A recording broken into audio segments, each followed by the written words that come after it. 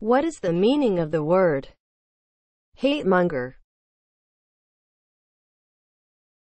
As a noun, one who arouses hatred for others.